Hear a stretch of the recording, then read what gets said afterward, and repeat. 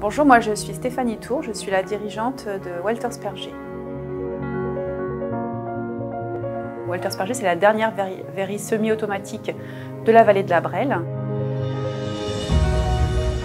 Vous avez ici dans cette région euh, de très grands verriers, euh, donc les plus grands verriers français, euh, et, qui produisent aujourd'hui donc 60, plus de 70% du flaconnage de parfum mondial. Donc c'est vraiment quelque chose d'extrêmement important avec tout un écosystème qui est donc construit autour de ces verriers.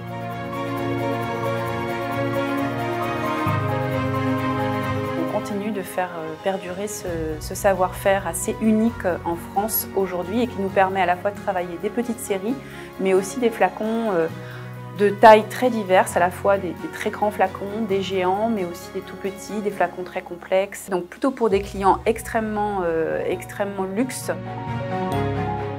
On travaille pour toutes les grandes marques internationales de parfums comme Dior, Yves Saint Laurent, euh, Chanel, Guerlain, euh, mais aussi on travaille pour de très nombreuses marques plus confidentielles qu'on qualifie de marques de niche, qui trouvent chez nous une réponse sur des quantités qui sont plus à leur portée par rapport à des verriers automatiques qui produisent là vraiment en très très grande série.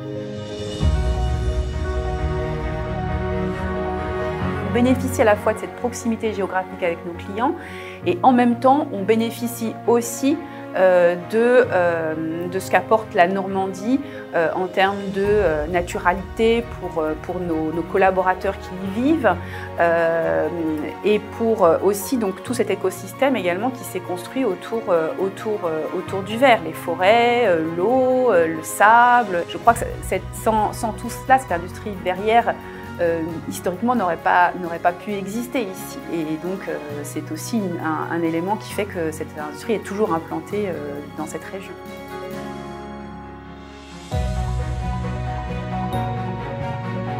Le savoir-faire est vraiment très important.